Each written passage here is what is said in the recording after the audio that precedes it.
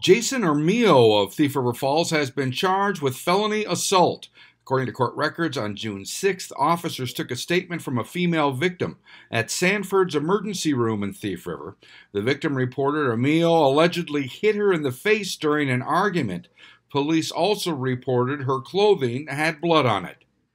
And 42 year old William Roper of Thief River Falls has been charged with felony domestic assault.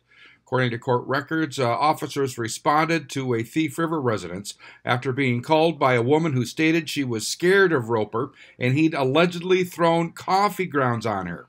Uh, Roper has two prior uh, domestic related offense convictions within the last 10 years. I'm Neil Carlson reporting for iNewZ.TV.